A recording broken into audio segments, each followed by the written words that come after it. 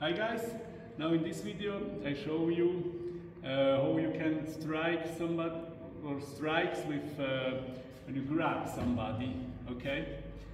You can grab him to the neck here and then hit him with hammer fist punch like that or with the elbow can hit him and also with headbutt.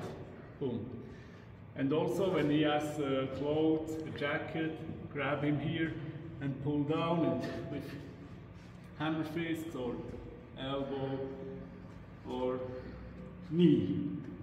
Okay? Again, I show you one time. Grab him and elbow. And grab him with hammer fist. Okay? Thanks for watching and see you in the next video. Bye.